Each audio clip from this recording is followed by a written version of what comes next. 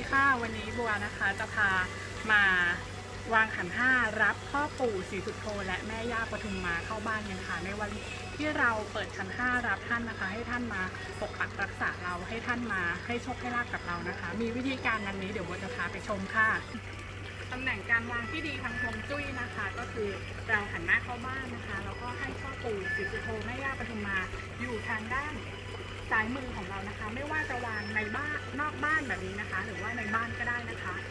ท่านจะวางในบ้านหรือนอกบ้านก็ได้ค่ะ อันนี้เป็นชุดน้ำพุคงจุ้ยของเรานะคะ ที่เราจะบูชากันวันนี้นะคะ เป็นหินหมุนนำโชคแล้วก็ตัวทำพันแบบนี้สวยงามมากๆเลยนะคะ ใครอยากได้ก็สนใจก็รีบจับรีบจองกันเข้ามานะคะ พ่อปู่แม่ย่าของเราบูชาเบิกเนตรมาแล้วจากคำชะโนดทุกรุ่นค่ะค่าของที่จะมาบูชาขันห้านะคะ ก็จะมีผลไม้ห้าอย่างค่ะ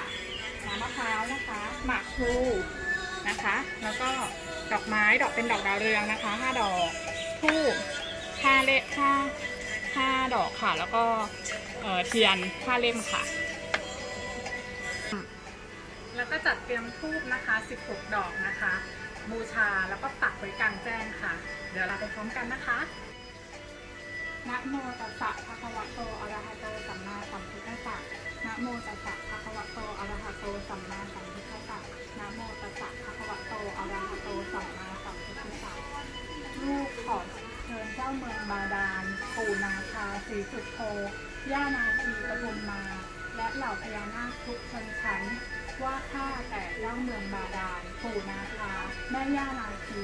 และเหล่านาคราชทุกชนชั้น ลูกขออนุญาตเชิญท่านทั้งหลายมาร่วมสร้างบุญบารมีกับข้าพเจ้าพยามิตรอัครานิธิขอเชิญยันท่านที่อยู่ใน เพชรพญานาคนี้เชิญมาอยู่กับลูก มาปกปักรักษาให้แคล้วคลาดให้ปลอดภัย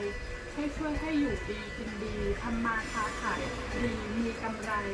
มีลูกค้ามากๆ ขอตามที่เราขอให้และขอให้ลูกและครอบครัวทุกคนมีแต่โชคลาภมีวาสนาที่ดีอยู่อยู่เย็นเป็นสุขทุกคนในบ้านด้วยเถินสาธุแล้ว นำนำทูบมาปักลงดินนะคะ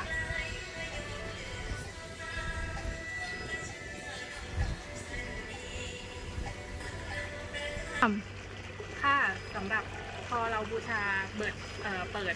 รับท่านมาอยู่ในวันแรกแล้วนะคะ หลังจากนั้นก็คือจะวางวางบูชาท่านในทุกวันพระก็ได้ แล้วก็วางน้ำแล้วก็ผลไม้ทุกวันพระนะคะ บูชาท่านอยู่เป็นนิดด้วยจิตที่เป็นศรัทธานะคะ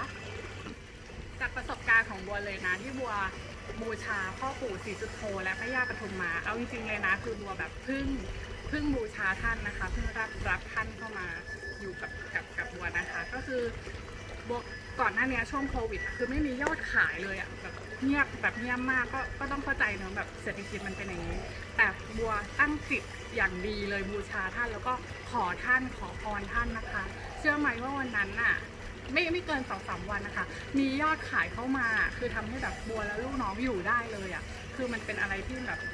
เป็นเรื่องที่ประหลาดใจมากนะคะ แล้วก็หวังว่าลูกค้าทุกท่านนะคะ ที่เช่าบูชาชุดพ่อปู่ศรีสุโธและแม่ย่าปทุมมาของเราโกยโชคช็อปไปนะคะ จะมีโชคมีลาภอย่างที่ทุกคนได้กันนะคะ แล้วก็มียอดขายเฮงๆปังๆรวยๆกันทุกคนค่ะ